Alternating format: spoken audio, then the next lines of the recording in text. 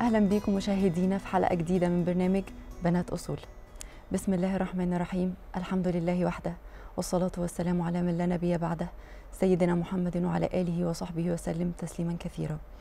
الإمام الشافعي بيقول توكلت في رزقي على الله خالقي وأيقنت أن الله لا شك رازقي وما يكن من رزقي فليس يفوتني ولو كان في قاع البحار العوامق سيأتي به الله العظيم بفضله ولو لم يكن مني اللسان بناطقي ففي أي شيء تذهب النفس حسرة وقد قسم الرحمن رزق الخلائق.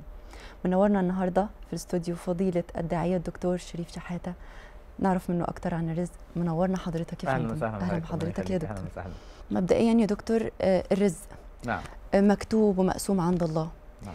وهل هو ال- اللي رب العالمين كاتبه لينا هو فقط اللي هن- هناخده ولا ممكن يزيد بالسعي والاجتهاد؟ تمام. طبعا بداية الحمد لله وأصلي وأسلم على رسول الله صلى الله عليه وسلم. يعني طبعا. آه، سعيد بوجودي مع حضراتكم وطبعا بدايه أسعد. موضوع الحلقة اللي هو الرزق. الرزق هي مسألة من المسائل اللي هي دائما تشغل كل الخلائق. مش بس المسلم لا كل الخلائق. لأن هي مسألة محسومة. حتى سيدنا عبد الله بن عباس بيقول اختلفت الخلائق مع الله في كل شيء. يعني اختلفت. عماله تجادل لا في إله لا ما فيش وهكذا. إلا في أمرين. ما أمر الموت والرزق. يعني كل الخلائق لا تختلف على إن فيه موت وفيه رزق. وهو من عند الله سبحانه وتعالى. مسألة الرزق عشان نقول هو بيزيد طب والمكتوب عشان الأمر ده شائك جدا مم. اولا نفرق بين أنواع الرزق هو الرزق مش نوع واحد مم. هو المسمى الكبير رزق وربنا عز وجل رزاق. وبالتالي من صيغة المبالغة إنما الرزق نفسه نوعين في رزق جيوب مم. ورزق قلوب مم. طيب لو إحنا حطينا المعادلتين رزق الجيوب ده اللي إحنا دايما بنركز عليه أو إحنا شايفينه أو إحنا حاسين إن هو ده مم. وبالتالي رزق الجيوب إذا لم يك- يكن معاه رزق قلوب فعندنا أزمة. ليه عندنا أزمة؟ مهما زاد رزق الجيب وليس فيه رزق للقلب قصاده. يشعر الإنسان إنه فقير. يشعر الإنسان إنه دايما في عوز واحتياج. يعني كأنه مفتقد للرضا يعني. طبعا. مم. وبالتالي بقى فقير. مم. إيه اللي بيدلل على هذا الكلام؟ عشان نتكلم بالدليل. قول الله تعالى الشيطان يعيدكم ذلكم الفقر. الفقر. كلمة يعد يعني مش هيسكت هيزن هيوسوس كتير. فالشيطان يعيدكم الفقر مش معناها إن أنا عندي فقر. إن أنا محتاج. لأ المعنى هنا معنى أشمل معنى الآية أن الله تبارك وتعالى بيقول لك الشيطان اللي بيعدك الفقر يعني إيه؟ يعني الشيطان يريك. أن كل ما عندك فقر. معاك مليون، ليه مش دايما عشرة؟ بالقلة أي مم. طبعا معايا كذا ليه مش أكتر؟ مم. عندي ولد وبنت ليه مش ولدين وبنتين؟ مم. ما عنديش طب ليه مش عندي؟ مم. مهما بلغ رزق الغيب طالما القلب رزقه ضعيف أو مش موجود. يشعر الإنسان بالفقر مم. عشان كده لو جينا بصينا على العالم حالات الاكتئاب مم. حالات الانتحار هي مش لناس فقيرة مم. اطلاقا عمرها ما. كانت لفقراء مظبوط كانت لناس أغنياء جدا مم. لأنه افتقد مع جانب المال الكبير لأنه الجانب الكبير هو المال الكتير قوي ده مم. مش عارف ينام.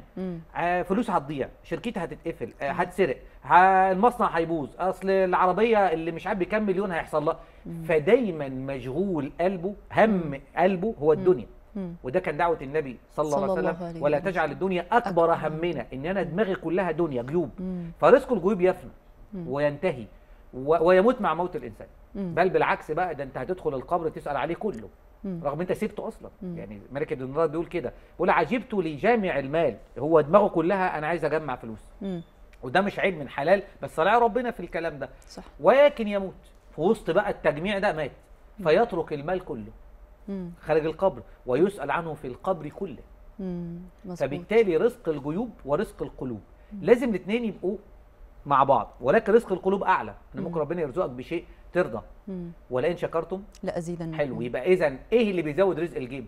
مم. القلب. رزق القلب. القلب. يبقى لو ربنا رزقني الشكر مم. جيبي يزيد مم. والبركة تزيد. معنى كده إن الشكر موصول بالزيادة زي ما اتعلمنا وأكيد الإنسان لما يشكر الله سبحانه رزقه ممكن نعم. يزيد. نعم. مم. ده نص القرآن. لئن شكرتم لا أزيدنكم. لا ازيدنكم وعلى القياس طب وإن لم نشكر؟ مم. لاقلنكم لأحرمنكم. من البركة وهكذا أيوه أيوه فبالتالي واحد ياخد مضاد حيوي انتي بيوتيك كده برخيص يخف مم. التاني خد المستورد اللي بكام ألف وتعبان هنا حرم رزق مم. الصحة صحيح البركة اتشالت من صحته أو من عافيته مم. فعنده مشكلة يبقى اذا هنا رزق الجيب ما حلهاش صحيح وهكذا أنا بأكد تاني أنا لا لا أقلل من رزق الجيب ده ده طبعاً. مطلوب أيوه طبعا ونعم المال الصالح للعبد الصالح كما. قال النبي صحيح. يعني صلى الله عليه وسلم النبي استعاذ من الفقر. والصورة المغلوطة عن النبي إنه كان فقير النبي ما. كانش فقير اطلاقا. النبي كان أغنى أغنياء الناس أيوه ده جده هاشم مم. وهو مين هاشم أغنى واحد في, في, في أرض الحجاز كلها مم. ومتجوز مين مم. سيدة خديجة أغنى امرأة صحيح وهو نفسه كان تاجر. فهو ما كانش فقير ولكن مر بعض الأوقات بعض الأوقات على النبي صلى الله عليه وسلم في احتياج. احتياج أيوة. اللي هو تضييق عليهم حصار آه، شعب أبي طالب مثلا وهكذا مم. فكان يربط الحجرين على بطنه إنما مم. هل النبي كان فقيرا عمره ما كان مم. فقير مم. ولكن مر بأوقات زي دي عشان يحس بالفقير صحيح. ويعلمنا نعمل إيه صحيح وهكذا مم. فقصة الرزق قصة محسومة مم. اللي هو بقى كلام حضرتك اللي هو أيوه. هو مكتوب ولا بيزيد ولا بيقل؟ أيوه. لا هو مكتوب. مم. بس هي الفكرة. ما هو مكتوب. ما هو أنا ما أعرفش هو مكتوب كام. أيوه صحيح. فهو الرضا.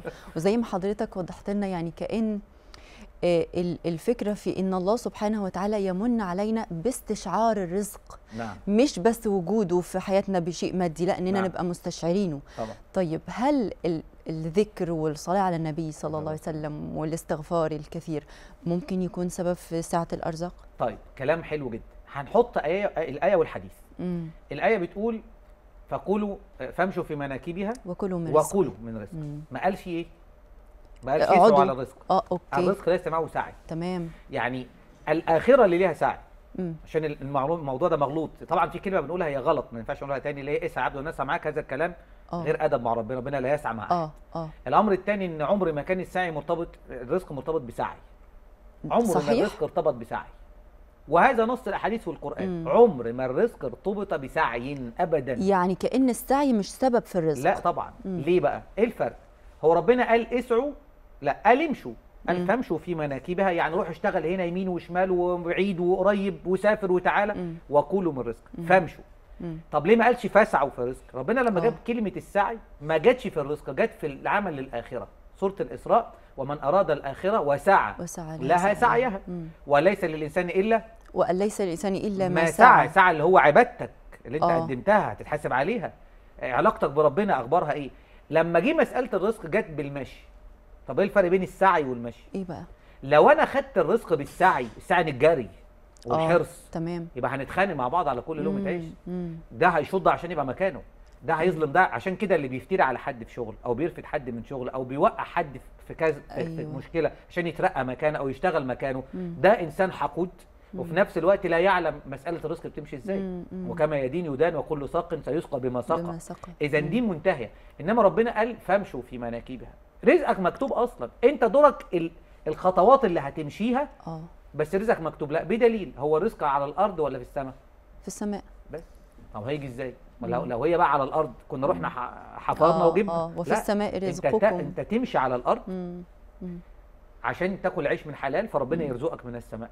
مم. هي المعادلة كده. ولذلك مثلا حاتم الأصم وهو من هو يعني. حاتم الأصم عايز يحج. جه موسم الحج ونفسه. يحج وما كانش معاه فلوس. فقال لمراته أنا عايز أحج طب هتسيبني أنا وبنتي إزاي وأنت. معكش فلوس يعني طب مم. طب سيب لنا فلوس فقال ما أنا ما عنديش فلوس بس يعني هجتهد أسيب لكم على قدر المعونة المعونة اللي هو. هسافر كام يوم تاكلوا وتشربوا فيهم على قد ما تقدروا. وهنا حصل شكل بينه وبين مراته طب هروح مش هروح وهكذا لحد ما ربنا ييسر إنه لأ زي حاجة خدمة حجاج كده إن هو يعمل لهم حاجات فيدوا له مقابل في سفر الحج. فخد القرار ولكن جمع زوجته وبنته قالت له قال لهم أنا همشي عايز أحج. وأنا هسيب لكم ما تقتات يعني يا دوبك يكفي أكلكم وشربكم. فالأم رفضت ولكن البنت قالت يا أمي. يا أمي علمناه اكالا وليس وليس رزاقا رزاقا ما هو. بياكل زينا هو. مش هيرزقنا وهو ساب لنا بالمتاح. سافر حاتم الأصم وهو في السفر كان معدي في وقتها في البلد اللي هم فيها كان معدي ملك ال- البلد أو أمير البلدة ساعتها وكان الجو حر جدا فهو طلب ماء. عطشان يعني عايز أشرب فهي البنت سمعت بنت حاتم ما تعرفش ده مين يعني مم. هي سمعت فجابت مية ساقعة عنده.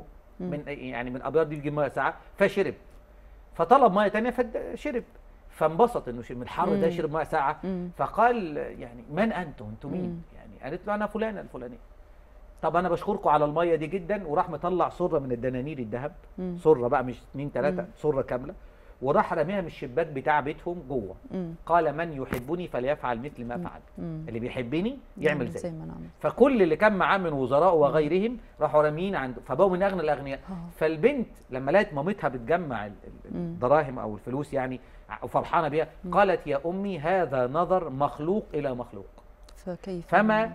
بالك لو نظر إلينا الخالق اذا. المعادلة هنا فين المعادلة ان أنا أستعين على أكل عيشي بالله مم.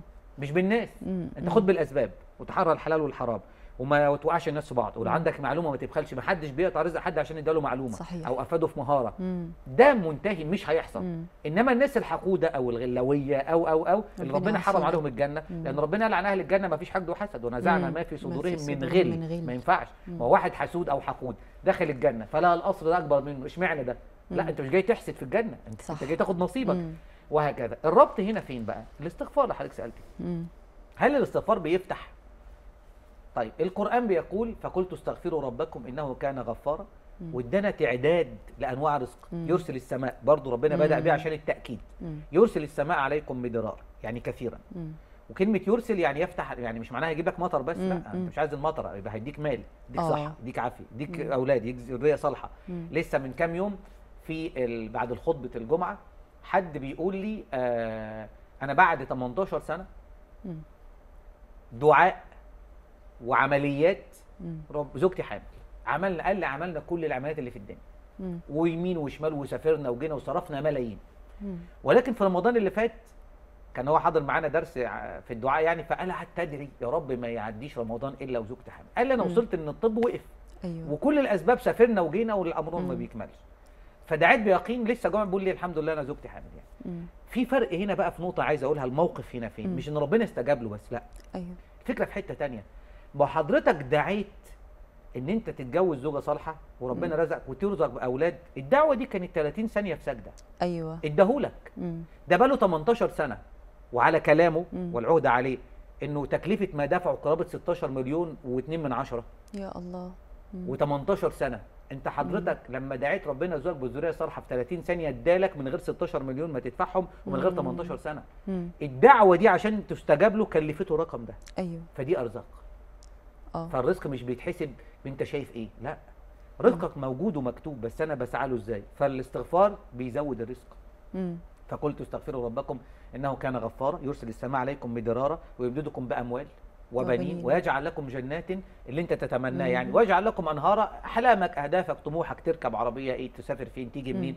بس الشرط هنا متعلق بالأولانية. ما لكم لا ترجون لله وقارا. يعني. وأنا بستغفر اعظم شأن الله.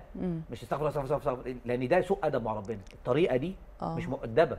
بمعنى أنا النهارده آه، زعلت حضرتك في أمر ما. وضايقتك. فأنا عايز أعتذر. أو أنا ضايقت حد صاحبي جدا وعايز أعتذر له. فأروح. أقول له أنا آسف أنا آسف آسف آسف آسف آسف. هيرفض كلامي. مم. أنا ما اتأسفتش. أنا مش مؤدب. أنا بقول له أنا آسف. أنا آسف جدا إن أنا عملت كده. ولله المثل الأعلى. فأنا عايز أستغفر يعني بتأسف على ذنوبي. فأستغفر بقلب.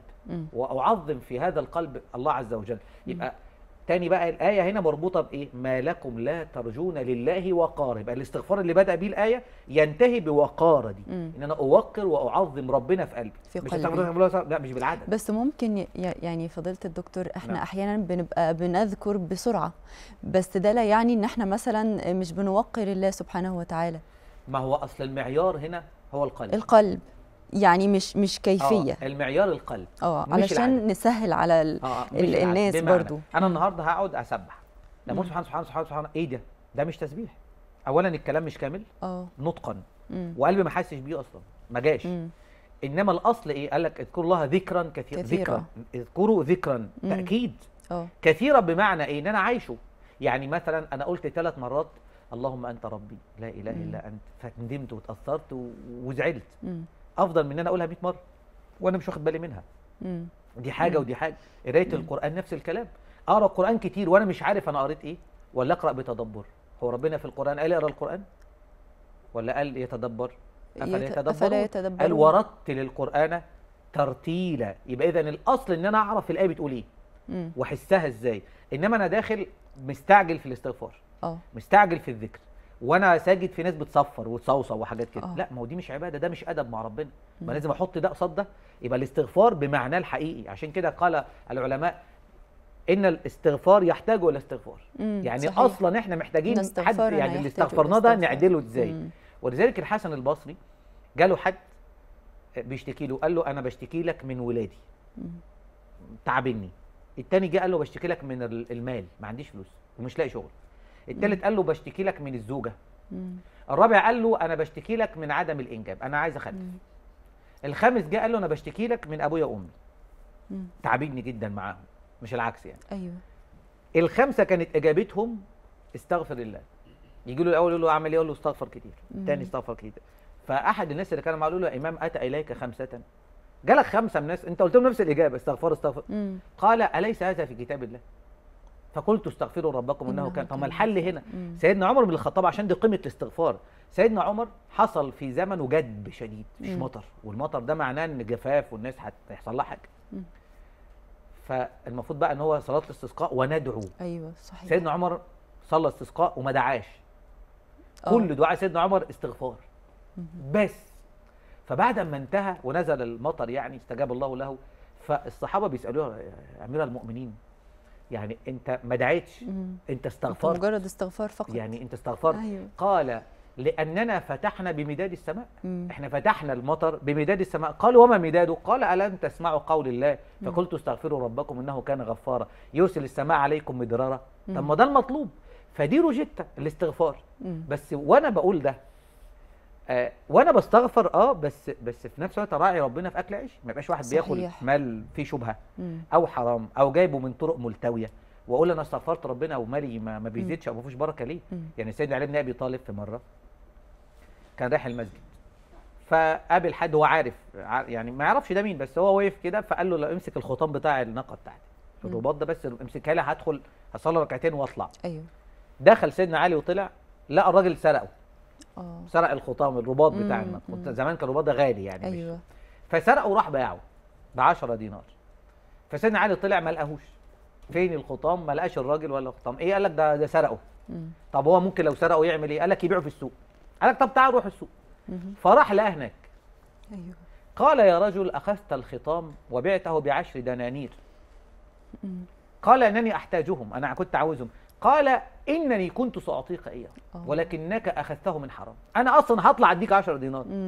هي اذا الرزق المكتوب محدش عارف يبعده عنك اطلاقا صح بس هجيبه من حلال ولا من حرام لأن. محدش هيموت إلا ورزقه كامل مكمل. بس إحنا عندنا أزمة أيوة. إحنا عايزين ننقي يعني بالبلدي كده ربنا كتب لنا رزقنا كله محدش. ناقصه حاجة. وعايز أقول كلمتين أنت ما فاتكش حاجة الناس اللي النهارده مشغوله أصل ما جبتش ذهب أصل ما جبتش دولار آه. اصل مش عارف إيه. أنت ما فاتكش أي حاجة. مم. لم يفوتك من رزقك أي شيء. سواء بقى غلي الأسعار أي شيء. آه، قلت. أصل أصل في رد منطقي. ما جبتش ليه يعني؟ مم. وفي اللي أحيانا يبقى مشغول قوي وهو معهوش أصلا. يعني مم. أنت إذا نرجع للشيطان وساوس الشيطان. آه. الأمر المهم هنا إن أنت ما تشغلش بالك برزق غيرك. مم. أنت ما تعرفش ده دفع كام عشان. يبقى ده عنده. أيوه. ومش كل ما تراه هو رزق. ممكن واحد يكون ما شاء الله أصول و و و ولكن حياته آه، صحيا ولا ولا. ولا ولا. تعبان. أنا كنت أعرف حد كان معانا في الحج وهو ما شاء الله يعني من, من أغنى أغنياء مش عايز أقول مصر بس يعني. كان بيقول لي أنا عندي طيارة خاصة ممنوع آه، أسافر طيران. عشان عندي مشكلة في دماغي فاي سفر طيران مع الضغط ممكن أموت يا الله فباجي الحج بري أو بخر ممنوع أركب بالله. وعنده طيارة خاصة. قال لي بص بقى ربك يدي. إيه هي دي. قال يعني أنا باجي بقى عشان أجي الحج دي أشوف بقى ممكن أسافر بخرة إزاي وبهدلة ال... ما ينفعش بس ده وأنا عندي هو ما طياره يقدرش. فهي سبحان الله كل رضا. شيء ليه ثمن. صحيح ولكن هذا الثمن من يقدره ربنا مش إحنا مم. ودي مهمة. ونعم بالله طيب البركة نعم. البركة هي لما تيجي في الشيء القليل ممكن تخليه طبعاً. كثير طبعا ف... فممكن يكون مال قليل والله سبحانه وتعالى بفضله يبارك فيه نعم فيكفي ويزيد ويبقى آه، حضرتك كلمنا عنها البركة دي آه، عبارة عن إيه في حياتنا؟ طيب سؤال حلو جدا. البركة هو أن يريك الله ما عندك غنى. وأن يبارك لك فيه. يعني الرقم هن... هنأكد بقى. البركة ملهاش علاقة بالورقة.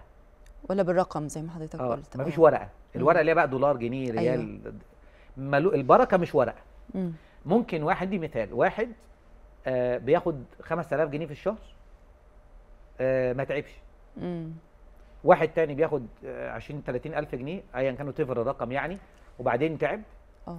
وبعدين الموضوع تدهور فعايز يعمل عملية ب 400 ألف جنيه. يا لطيف. ده خد 30 ألف ما فيهمش بركة وجاب عليهم 300 ألف. أيوه. يعني ضربوا رقم في 10 ممكن يبقى استلافهم كمان. مهم. التاني كان عنده بركة في ال 5000 إنه ما تعبش أصلا ما خدش دواء. واحد تاني عنده عربية ربنا ساترها معاه ومبارك له فيها فما اتخبطتش. التاني وهو واقف ما يعرفش أي حاجة نزل لها مخبوطة راح صرف عليها قد كده واستلف. ده معادل للبركه مم. البركة ده ده مثال في المال. أيوه. مثال في الصحة. واحد تعب خد دواء بسيط جدا خف. يومين ثلاثة خف. واحد عنده نفس الموضوع سبحان الله المناعة مش عارف حصل فيها إيه فتدهورت الأمر فاحتاجنا ندخل عنايه احتاجنا فنفس المرض واحد ولكن ربنا يبارك لده في عافيته آه. وده ربنا نزع منها البركة. يا هو. نفس البني آدم إحنا ما غيرناش حاجة. يعني نفس العطاء واحد. أيوه. ولكن استق... عشان كده ربنا عز وجل علمنا من رضي فله الرضا مم. ترضى يرضيك. مم. طب حد يقول لي طب ما أنا راضي وعندي ابتلاءات؟ طب ما إيه المانع؟ بس في فرق بين اللي راضي لو عنده ابتلاء خمسة ريختر مم. عشرة ريختر مثال يعني مم. ربنا يديك رضا وصبر 20 ريختر مم. اللي مش راضي عنده ابتلاء ريختر واحد بس هو مخليه 8000 ريختر أيوه فمش عارف ينام مم. فهنا فكرة البركة ولذلك كان دعوة النبي صلى الله عليه وسلم الدعاء بالعافية دعوة. النبي صلى الله عليه وسلم في الصحة والدعاء ده ما تركوش ولا يوم اللهم متعنا بأسماعنا. وأبصارنا وقواتنا. ما أحييتنا واجعله الوارث منا يعني إيه واجعله الوارث منا. يعني جسدي الناس فاهمة الدعاء غلط أيوه معنى الوارث منا يعني جسدي يرثني بعد موتي بكامل صحتي أموت. سليم أيوه مم. يبقى متعنا باسماعنا أهي بركة. وابصارنا بص النهارده واحد سمعه دخل نملة مم. أنا أعرف حد طبيب. زميلنا حكى لنا عن ده واحد دخل في ودانه نملة وهو نايم مم. قال لي دخل عناية مركزة سبعة أيام واتعمل عمليه. كبيرة جدا نملة مم. سبحان الله ما. ماتتش دخلت مم. التاني آه حد صديق يعني بتاع الهوا في التراب. كده دخلت حاجة في عيني فهو بيقول أنا طبعا تلقائيا عملت بإيدي كده فأنا أيوة. جرحت عيني ولا أيوه أعرفش. فعمليات ونظره ضعف وهو سبحان الله مش بتاعتك متعنا بأسماعنا وأبصارنا. وقواتنا. ما احييتنا واجعله يعني جسمي الوارث منا يعني يرثني جسدي في كامل صحتي وكأن تمام الرزق العافية طبعا في كل شيء في بدني وفي رزقي وفي أولادي في كل شيء 100 مليون دولار ومحرومة تاكلي ثلاث أرباع الأكل مم. محرومة تسافري الطيارة مثلا آه ممنوع إن حضرتك تنزلي في حر أيوة. أو المية ممنوع تنزلي بحر أو بسين لأنه بيعمل حساسية معينة مم. ما- مم. سبحان الله مش. ما هي هي مش بتاعت مش بتاعت. حد مم. وهكذا لو حضرتك تختم لنا كده بدعاء جميل وربنا حاضر. يتقبل يا ربي اللهم يا ذا الجلال والإكرام يا ذا الجلال والإكرام يا ذا الجلال والإكرام يا ربنا يا من ترى مكاننا وتسمع كلامنا ولا يخفى عليك شيء من أمرنا اللهم صل وسلم وبارك على حبيبك محمد في الأولين وفي الآخرين وفي كل وقت وحين. اللهم يا ربنا انظر إلينا الآن نظرة رحمة ورضا. انظر إلينا نظرة رحمة ورضا. تهدي بها قلوبنا وتشرح بها صدورنا وتحسن بها أخلاقنا وتوسع بها أرزاقنا.